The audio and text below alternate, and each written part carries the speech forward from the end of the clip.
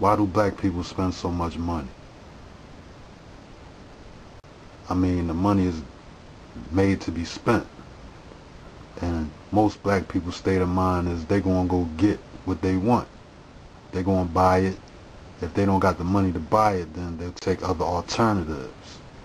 We're not going to talk about the alternatives that they take, but let's just talk about the spending. You know, the economy, the so-called recession. People say they broke. People holding on to their chips. You know what I'm saying? Think for the future. Everybody's so busy to spend their money like the advertising and commercials got black people so much locked in that they don't even get to stack their bread. Spending all reckless and crazy. I talk to my people sometimes and say, what, what, would, what you think would happen if black people decided to not spend no money for a day? Just one day, you know, one 24 hour period from the day to the night, the next day. Don't buy nothing at any store, anywhere what do you think would happen? I mean, what kind of power will we see out of that?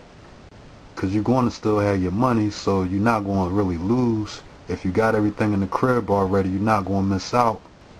Like, show them the power of what your spending can do. Stop spending for once and, and, and let them feel the pressure of what's going to happen. Oh, what are they doing? Why are they not spending their money? We, we need them to survive. Like, they need us to survive. We are the economy. We are the economy black people, Puerto Rican people, minorities. And we gotta get more smarter with this money shit. Like, that's what we need to do.